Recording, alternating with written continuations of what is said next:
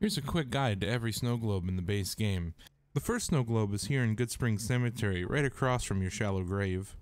Second one is right inside the Hoover Dam Visitor Center, just sitting on the front desk for you. As soon as you enter the old Mormon fort, turn right and go inside this little building here. And on the top floor, it'll be on this bookshelf.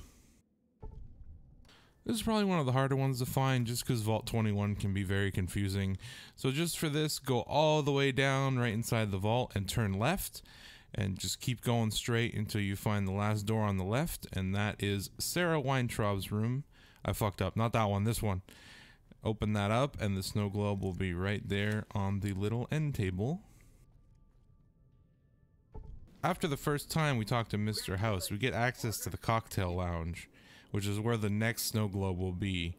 For this, we go down there and we turn right until we get to the second cash register and it is right behind it. Next one's inside Nellis, which is inside the uh, Boomer Museum, just right on the right as soon as you enter. And the last one is in Jacobstown as soon as you enter the lodge, it's right there on the front desk. But yeah, that's all seven of them in the base game. Hope you guys enjoyed. Make sure to like and subscribe, and have a good one.